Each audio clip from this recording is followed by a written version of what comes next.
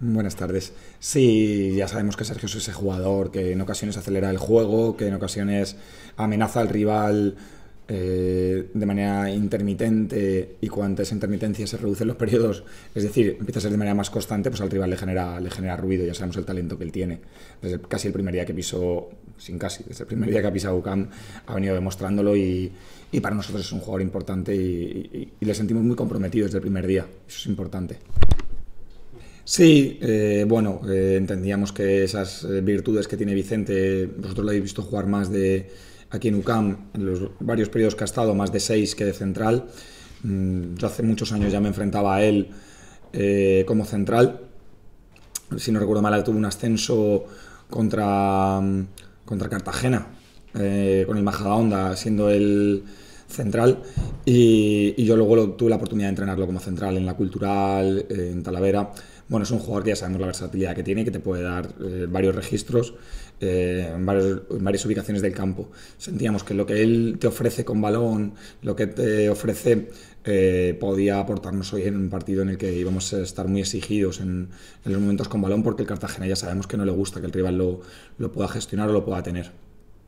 Durante el partido eh, entiendo, entiendo tu, sorpresa porque de hecho es que ha tenido mucho minutaje desde que recuperó la lesión en pretemporada. Prácticamente eh, había contado todos los partidos con, por titularidades y además venía creciendo. Eh, de hecho, puede que el mejor Josema que yo haya sentido era el que sentimos el día de Orihuela.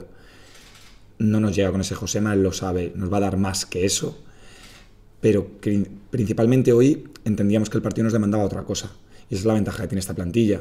Pues al igual que la aparición de Vicente no hablaba de un mal Javi Ramírez, estamos muy contentos con cómo vive la semana, con cómo rinde, también nos va a dar más, nos puede dar más.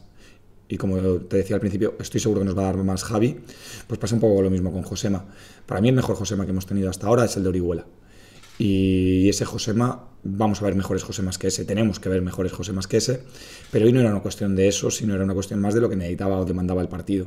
Y sentíamos que, que el giro que hemos dado, la decisión que hemos tomado, era lo que nos constituía de una manera más potente para intentar dominar el partido. Sentíamos que era muy importante que se jugara lo que nosotros quisiéramos. ¿Recuerdas que me preguntabas en la previa?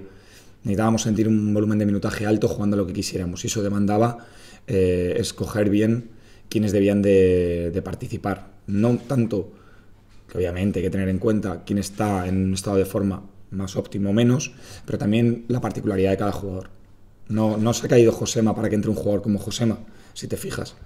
Eh, Josema no está en la titularidad porque realmente es que no hemos jugado con, con un jugador como él en el campo. Pues mira, eh, me gustaría, eh, aprovecho darle mucho valor a lo que hace el Cartagena. Eh, se lo decía a Pepe antes del partido, eh, que a mí me encanta enfrentarme a equipos tan ricos, tan bien trabajados, eh, que ofrecen mm, tantas cosas al juego y también a la gente, que al final la gente viene a ver los partidos y creo que ellos plantean partidos muy difíciles de defender porque empiezan a acumular un volumen de jugadores por dentro elevadísimo y ya si a eso le damos atención a los jugadores que hoy encima han plantado en el césped, dos, tres jugadores de primer equipo que tienen minutaje importante, titularidades en primer equipo y hoy los teníamos enfrente porque no, habían jugado el viernes y, venían totalmente frescos. Eso es muy significativo. Habla de la dificultad que hemos tenido y de la cantidad de cosas buenas que hemos tenido que hacer.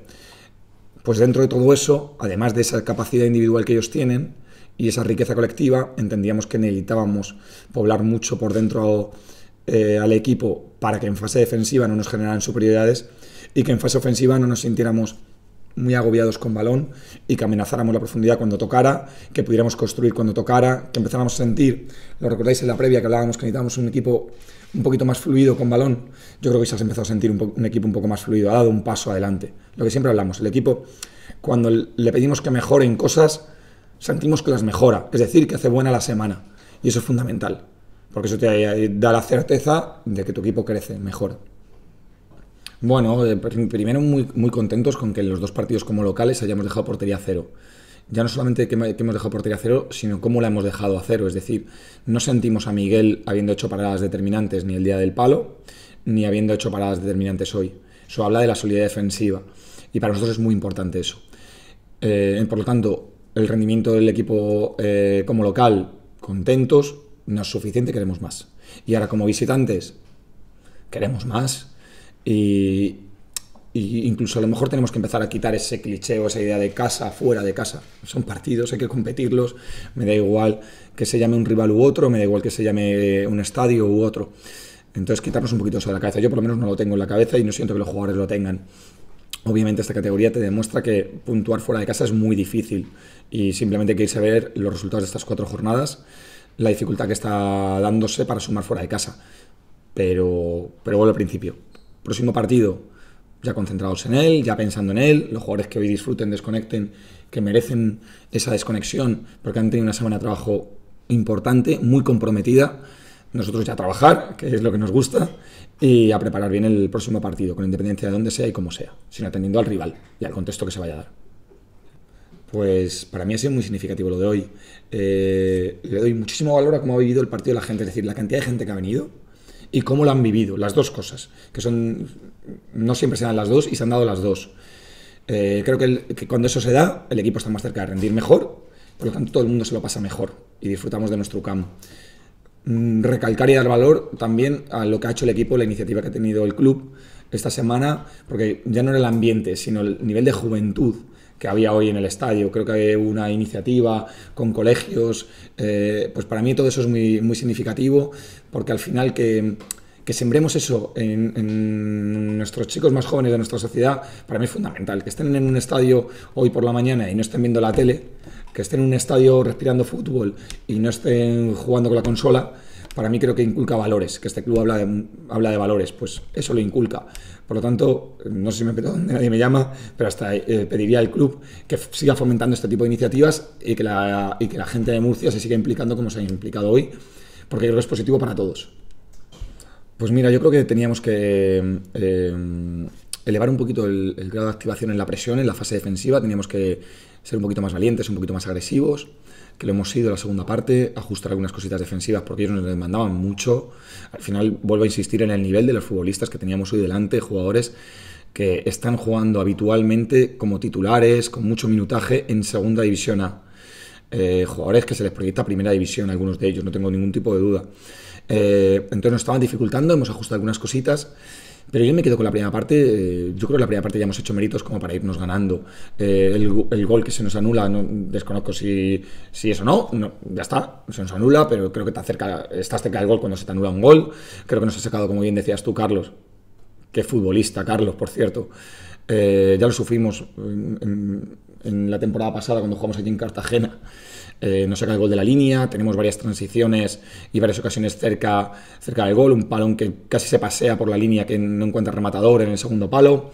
Bueno, creo que la primera parte ya habíamos hecho méritos para ponernos por delante.